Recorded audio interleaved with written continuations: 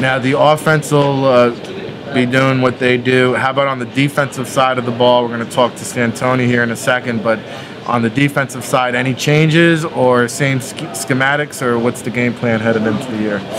No, not a lot of changes. You know, I think uh, I started smiling there when you talked about defense. I just think um, we have to play with a passion and play with the uh, uh, an aggressive style, which we did last year. And, and again, it's a new team, new year, and uh, I love the guys we have coming back there as far as how much they love playing the game of football and they want to play it the right way. And um, you know, we challenge them every day, and, and, they challenge themselves every day to make sure they're preparing the right way, uh, and that's with a great deal of passion.